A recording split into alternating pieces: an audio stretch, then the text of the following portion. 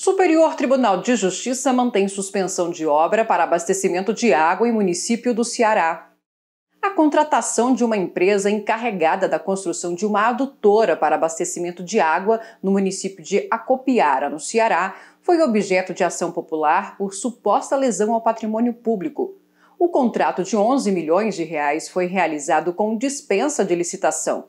Em primeira instância, a Justiça determinou a suspensão do contrato, decisão mantida pelo Tribunal Regional Federal da Quinta Região. No STJ, o município argumentou, entre outros pontos, que as medidas de prevenção contra o novo coronavírus justificariam a modalidade de contratação e que a suspensão do contrato pode comprometer as condições sanitárias da população e o combate à pandemia. Ao analisar o caso, o presidente do STJ, ministro João Otávio de Noronha, observou que o pedido do município não informa dados concretos que demonstrem de que modo a decisão do TRF, que suspendeu o contrato, efetivamente traria riscos ou prejuízos à saúde da população.